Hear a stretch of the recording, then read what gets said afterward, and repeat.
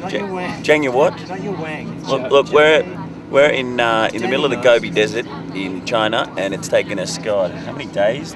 Two days to get here, and we're going to a hotel, and tomorrow we walk the Great Wall. Feeling all right, a little bit jet lagged, but um, I've got my friend here to um, to look after me. Thanks, Dannii. I'm just ignoring him. I'm just on my BlackBerry because I'm working on my blog because I need more sponsors than him. So you know, You've got more sponsors away. than me. I know, but it's going to stay that way, and I've got to beat Cliff because I'm not, quite frankly, I'm not happy about him beating me.